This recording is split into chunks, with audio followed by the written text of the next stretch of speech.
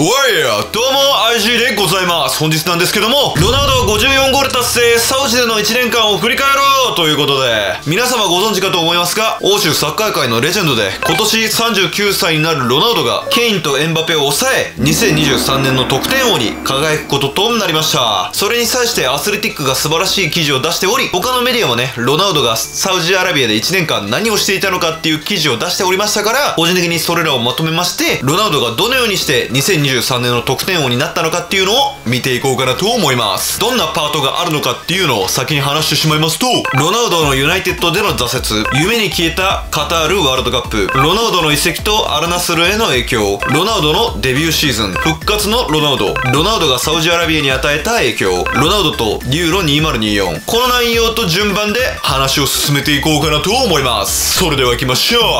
う。Let's go! Get up, get up, get get get up, get up.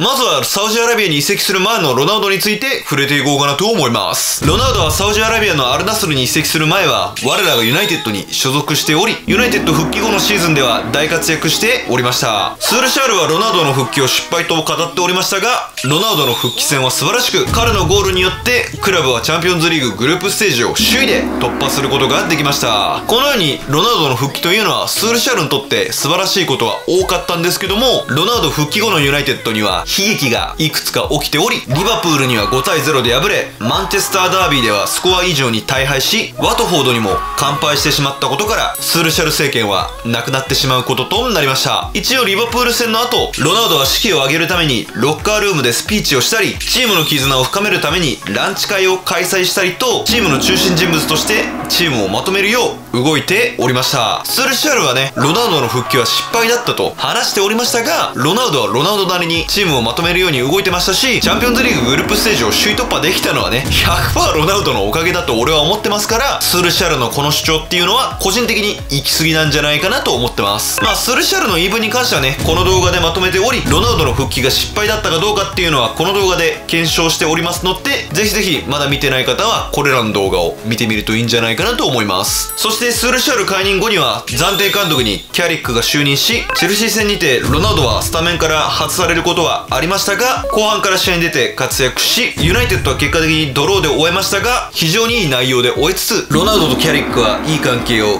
継続できていたみたいです。ちょっとロナウドと話はずれるんですけど、あのチェルシー戦のユナイテッドっていうのはめちゃくちゃ良かった思い出が強いですし、あのチェルシー戦を覚えてるからこそ、キャリックがね、いつかユナイテッドの監督になったらエグいことになるんじゃないかって希望を抱いてしまいます。しかし、次に就任したラングニックとはあまりうまくいっておらず、ブレントフォード戦勝っている最中にロナウドは交代を命じられ、ラングニックにブチギレることとなりました。しかし、キレられた教授も黙っているだけでなく、1月末に行われたクラブの役員会にて、ロナウドの移籍を進めるなと、教授は教授で行動を起こすこととなり、彼ら2人はバチバチな関係になっていくこととなりました。ちなみにロナウドはね、最初から教授に対して嫌悪感を抱いていたわけではなく、最初はめちゃくちゃロナウドを教授に言われた通り走ってましたから、ロナウドが教授に対してこのような態度してしまったのは、まあ、交代させられたからっていうだけじゃなく、教授がね、ロナウドから信頼を失ったことも原因の一つになってるんじゃないかなと思います。その後もユナイテッドはうまくいかない状況が続いていたことから、ロナウドはバランとポグバを引き連れ、自身をツートップの一角で起用する必要があること、マグワイアがスタメンのレベルではないこと、サンチョを起用し続ける意味がわからないことなど、様々なことを要求することとなりました。しかし、これを聞いた教授は、マグワイアやサンチョを起用することはやめず、むしろマンチェスターダービーにて、教授はロナウドをスタメンから外し、ダービーでは再び完敗するという、えげつないムーブをすることとなりました。こんな感じでね、ロナウドと教授というのは破綻した関係になってしまいましたから、4月頃になると、ロナウドはチーム練習の内容によっては、練習に参加しないこともあったみたいでございます。このようにロナウドと教授はうまくやっておりませんでしたが、ロナウドは教授政権の22試合で12ゴール1アシストと活躍し、チェルシー戦を引き分けにしつつ、ノリッチ戦、バーンリー戦、スパーズ戦、ノリッチ戦、この4試合を自身の得点によって勝利に導き、またスパーズ戦とノリッチ戦に関しては、ハットトリックでチームを勝たせ、最終的に38試合24ゴール3アシストという素晴らしい記録を達達成することとなりました。あの頃のロナウドは、守備にも走るし、ポストプレーも頑張るし、得点もするっていう、マジでチートな存在だったと思いますので、あの頃のロナウドにはね、個人的にバロンドールあげてもいいんじゃないかなと、未だに思っております。しかしロナウドは次のシーズンでこのような活躍ができたのかっていうと、そのような活躍はすることができませんでした。ロナウドは夏の移籍市場開幕前に息子さんを亡くしてしまい、ロナウドは昨シーズン素晴らしい活躍をしておりましたが、クラブはチャンピオンズリーグ出場権を逃してしまいましたので、ロナウドはチャンピオンズリーグに出場できるクラブへ移籍を希望しており、ロナウドは7月のプレシーズンツアーには参加しておらず、最悪なコンディションでシーズンを迎えることとなりました。一応ね、8月のプレシーズンにはロナウドを参加してたんですけども、なかなかそのプレシーズンでもコンディションを上げきることができず、ピッチ内であまり活躍することができなかったことから、徐々にスタメンから外される日が増えていき、PK ですが、ヨーロッパリーグのシェルフ戦にて得点を決めましたので、こっからロナウド調子上げるんじゃね？って期待されてましたが、なかなか調子を上げきることはできず、スタメンに選ばれない日々が続くこととなりました。一応シェリフ戦以降も他の試合で得点はしたっちゃしたんですが、なかなか得点しても調子が上がりきらない状況が続いてしまい、スタメンから外されることが続くと、スパーズ戦にてテンハグから途中出場を命じられた際、それを拒否し、試合終了前に帰宅することとなりました。ちなみにロナウドはね、そのようなことをしてしまったことから、1試合の出場停止処分を食らうこととなり、これまでのロナウドとは違い、ピッチ内の中心人物というよりかは、ピッチ外の中心人物になってしまうこととなりました。正直この頃のロナウドっていうのは、まあ見てられなかった印象が強いです。しかもクラブにロナウドのファンが多かったからか、彼らがね、結構ロナウドにボールを集めてたんですよね。でも、ロナウドはチームメイトやファンたちからの期待に応えることができず、16試合3ゴール2アシストでしたから、本当に低調でしたし、あのー、ゴールを外すロナウドを見てね、なんか、マックでゴール外したりしたらさ、もうなんか前ふざけんじゃねえみたいなこと言えるけど、なんかロナウドには救ってもらってってるし、いや、ロナウドのことは大好きだし、マジで何とも言えない状況だったよね。あのシーズンっつうのは。また、最終的にテンハグとはうまくいきませんでしたが、テンハグはロナウドと関係をうまく作ろうと、最初から彼とプレシーズンツアーに行くことを希望してましたし、ロナウドはスパーズ戦帰宅するなど、びっくりするようなことはやっておりましたが、それ以降のアストンビラ戦では、キャプテンマークを預けるなど、交代からの出場が多かったですが、テンさんはロナウドの起用を続けておりました。ロナウドはこのように、スタメンではないですが、起用され続けていたっちゃいたんですけども、スタメンとして起用されないことや、様々なことにフラストレーションを溜め続け、ピアース・モーガンとのインタビューを決行することとなり、そのインタビューにて様々なことを言ってしまったことから、ユナイテッドと契約解除することとなり、ロナウドは退団することとなりました。ちなみにこの時の話についてはね、詳しくこの動画で語っておりますので、まだ見てない方、思い出したい方は、この動画見終わった後に見てみてください。ユナイテッドに復帰後のロナウドの方をまとめていきますと、復帰後のロナウドというのは、ユナイテッドにとって救世主という感じだったんですが、最終的に老害に近い存在になっていってしまい、ロナウドはファンたちにとって非常に複雑な存在となっていってしまいました。いや、マジで本当にね、復帰後のあのシーズンの活躍を覚えてるからこそ、終盤のあのような活躍は本当にコメントにも困ったし、悲しかったし、あの頃のユナサポの方はなんか悲しかったよな。そして、無職の中迎えたカタールワールドカップも振り返っていきますと、ロナウドはユーロ2016以来のビッグタイトル獲得を目指し、キャプテンとしてこの大会に臨んでおりました。しかし、ロナウドにとって永遠のライバルであるメッシがアルゼンチンを優勝に導き、大会は終わることとなりました。詳しくワールドカップとロナウドを振り返っていきますと、本人は初戦のガーナ戦で PK を決めたことから、ワールドカップ5大会で得点を決めた最初の選手になることができました。しかし、ガーナ戦以降、ロナウドはワールドカップで得点を決めることができず、男優のラモスにスタメンの座を奪われ、スタメンの座を奪った男優のラモスはいきなりハットトリックの大活躍を果たし、ポルトガルはベスト8まで駒を進めましたが、ロナウドは控え選手になってしまい、最終的に準々決勝のモロッコ戦には交代から出場したものの、彼に残された時間というのは39分で、ボールに触れた回数はわずか10回でした。その程度のタッチ数では、さすがのロナウドもチームを救うことができず、ロナウドのワールドカップ優勝の夢は、ここで途絶えることとなってしまいました。この頃のロナウドに関してはフルで見てたので、思い出して話を進めていきますと、まあ、クラブのパートでも話しましたが、正直劣化してたんじゃないかなと思います。正直、クラブのプレシーズンにね、早い段階から参加してて、去年の良かったコンディションを維持しつつ、むしろコンディションを上げきれたのであれば、全然クラブと契約解除することことはなく、むしろスタメンとしてユナイテッドを勝利に導いていた可能性はありますし、ワールドカップでもね、5試合1ゴールっていう成績では終わらなかったんじゃないかなと思います。この辺はもうたらればなんでね、言い出したらキリないですから、当時の正直な感想を振り返ると、さすがのロナウドでも、やっぱり年齢には勝てないかっていう雰囲気だったことを、俺は覚えております。そんでね、その後の流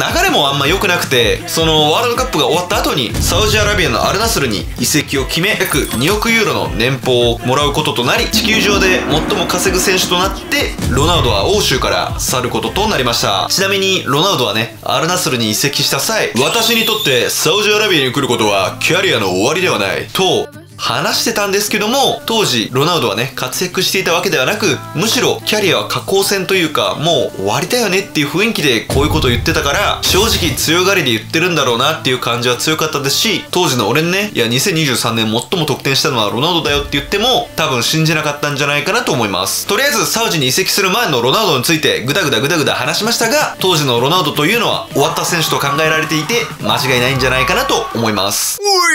さあ、こっからはね、あまり知られていないアルナスルに移籍して以降のロナウドについて見ていこうかなと思います。ロナウドはアルナスルに移籍して以降、即座に活躍したと考えられがちですが、意外と活躍するまでに時間がかかっておりました。メッシ率いるパリ・サンジェルマンとサウジオールスターで行ったエキシビションマッチでは、いきなり2ゴールを決める大活躍を見せました。しかし、サウジリーグのデビュー戦ではゴールを挙げることができず、また4日後のサウジスーパーカップ準決勝では、まだベンゼマたちが移籍してきてないアルイティハドに敗れ、その試合でもノーゴールに終わり、ロナウドの初ゴールは公式戦3試合目のアル・ファティファ戦となっており、ロナウドの初ゴールは試合間際の PK から生まれることとなりました。振り返ると初得点は3試合目となっており、しかも PK からということですし、タイトルホルダーで有名なロナウドがカップ戦でいきなり活躍できず敗退しておりますから、ロナウドのサウジアラビアでのスタートは本当に良くなかったんじゃないかなと思います。このようにいきなり活躍することはできなかったんですですけども、ロナウドはロナウドでチームにいい影響を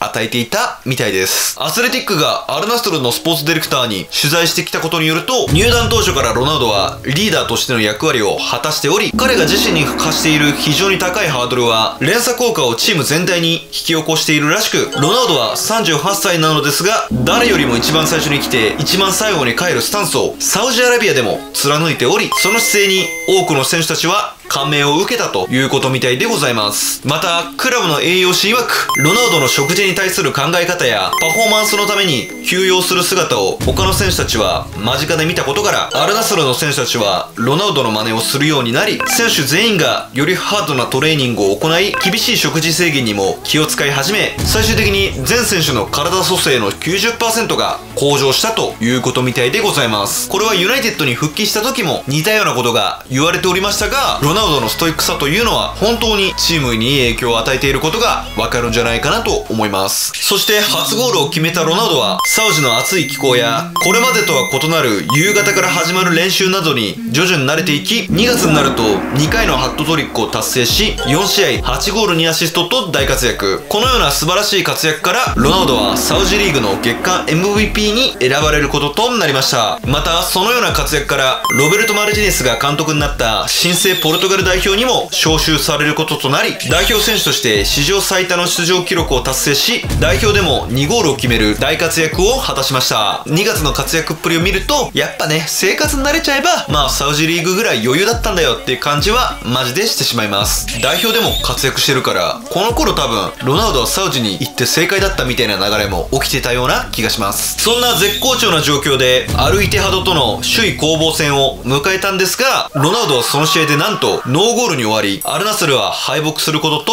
なりました。ロナウドとアルナスルは首位攻防戦に敗れてしまったので、アルナスルのファンたちは、ロナウドにメッシコールを浴びせることとなり、またその後もアウェー戦ではアウェーサポーターからメッシコールを浴びるようになり、メッシコールを浴びるようになったロナウドは、なかなか2月のような活躍をすることができず、ロナウド加入前は首位だったのにもかかわらず、ロナウドとアルナスルはリーグ優勝を逃すこととなりました。2月で慣れたかなと思いきや、なかなか得点できず、メッシコールを浴びせられて優勝を逃すとか、俺だったらマジでメンタルやられるし、もう別に俺いいや、引退でもいいやって拗ねてしまうんじゃないないかなと俺は思ってしまいました。マジでメンタルやられちゃいそうだよね。ちなみにこのシーズンのロナウドは19試合14ゴール2アシストという記録を達成しておりました。この19試合14ゴール2アシストの活躍は一見良さそうな感じはするんですけどもこのシーズンロナウドが得点を決めたクラブというのはアルヒラルやアルイティハドなど強豪クラブではなく下位クラブとの1試合で多くゴールを決めることが多かったことから想定していたような活躍かというとそういうわけではなくチームの得点王はタリスカとなっておりタリスカの20ゴール中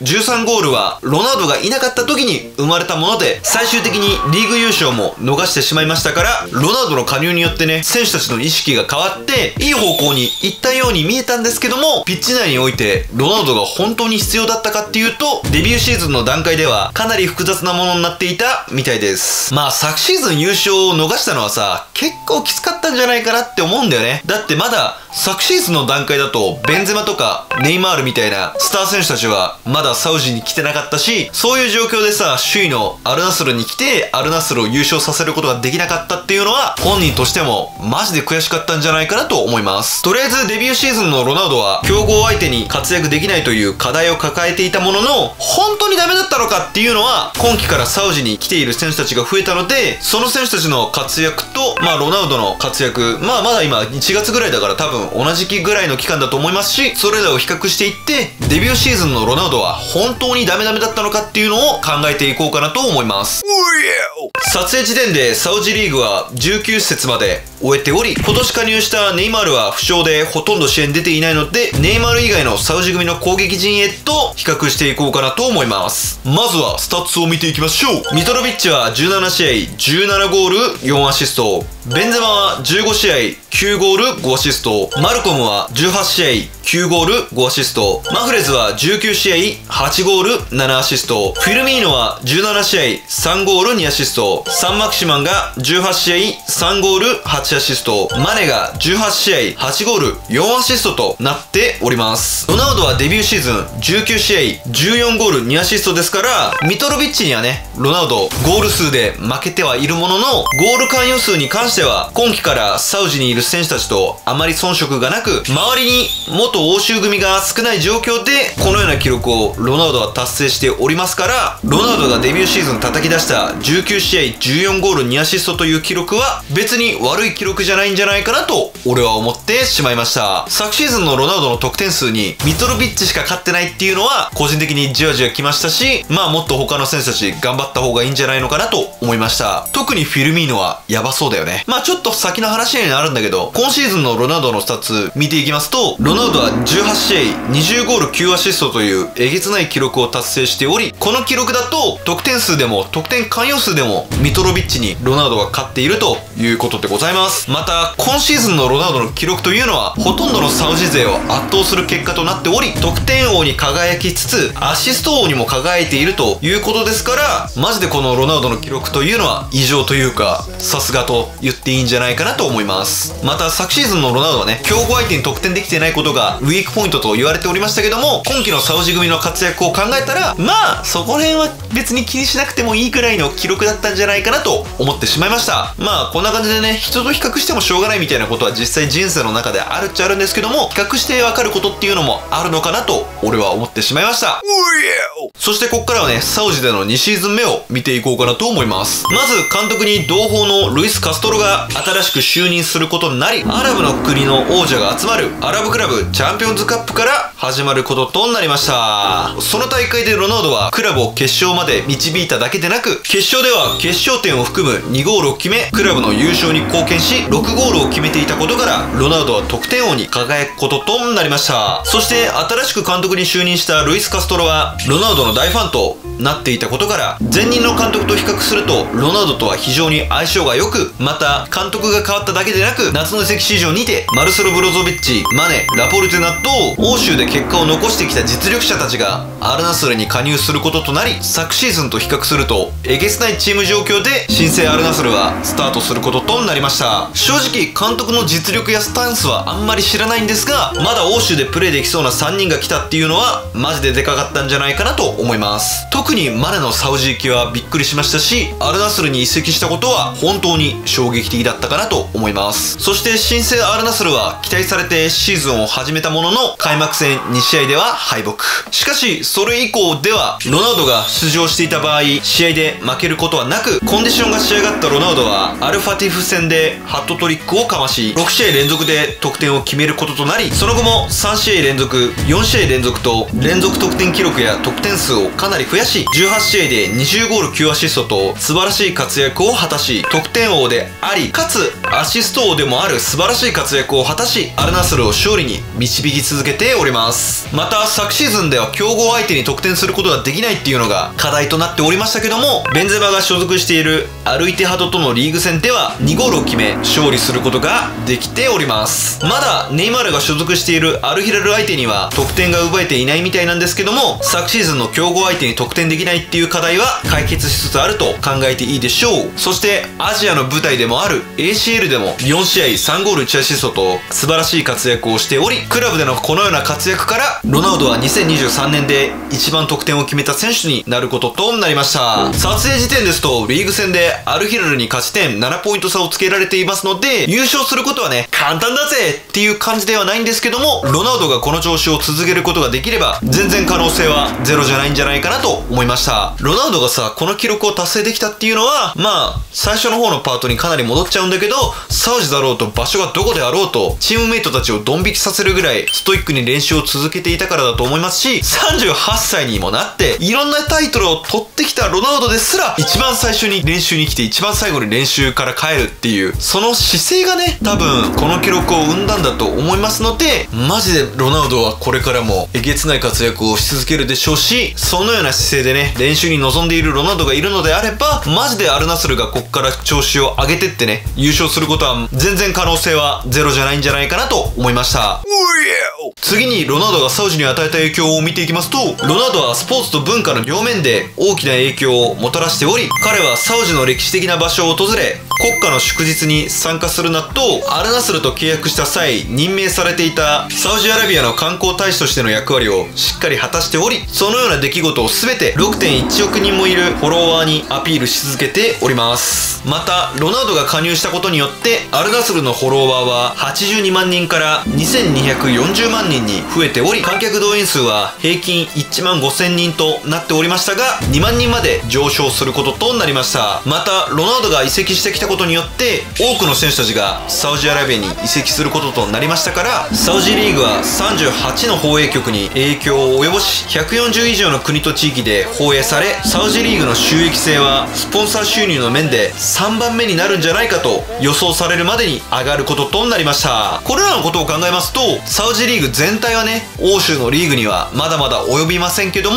ロナウドが言ってたように今後サウジがトップリーグの一つになるっていう話は非現実的な話じゃないないんじゃないかなと思いました。この辺のことを考えるとロナウドの加入はねサウジアラビアにかなりでかい影響を与えてますから国の政策として彼を獲得したっていうことは良かったと考えていいんじゃないかなと思います。またロナウドは一度自身の数を試合中に直し危うく逮捕されそうになったりパートナーのロドリゲスさんと結婚をしていないのにもかかわらず同棲していることはアルナスル移籍当初は国の問題になりかけてしまいましたがどうやらロナウドはサウジアラビアのことを我々が思っっている以上に気に入っているらしく復帰したマンチェスターでは日照時間に不満があったみたいなんですがサウジアラビアの日照時間は非常に長いためその点はマンチェスターよりも気に入っているらしくロナウドが住んでいる首都のリヤドは欧州と比べると非常に近代化が進んでいるためロナウドのような VIP に向けた施設が充実していることに非常に満足しているらしく子供たちも予想以上の教育を受けていることからロナウド本人だけじゃなく家族もサウジでの生活を楽しんでいると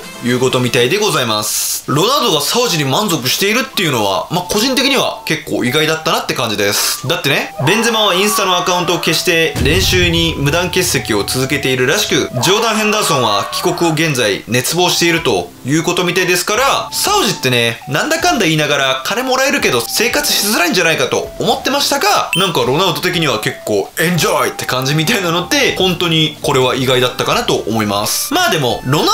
ウドの場合はね、基本的に酒飲まないし、ストイックな生活、まあ、いわば欧州の時と変わらないような生活を今でもやってて、かつ、アルナスルってね、結構、スペインでいうバルサとマドリーぐらい人気な2強クラブの一つに移籍することができたから、まあ観客数ももね、多分めちゃくちゃ少ないみたいなことはないんだろうし、そのような点から、あんまりロナウドはサウジへの嫌悪感が少ないのかなと思いました。まあ、あと他の可能性としたらさ、やっぱロナウドって、ベンゼモンもスーパースターで、ジョーダン・ヘンダーソンもすごい選手だとは思うけど、国的にはね、やっぱ優遇せざるを得ないというか、まあ一番優遇すべきサッカー選手は多分国的にロナウドじゃんだから相当 VIP 待遇されてて、ロナウドは彼ら2人と比べて不満がないっていう可能性もあるんじゃないかなとは思います。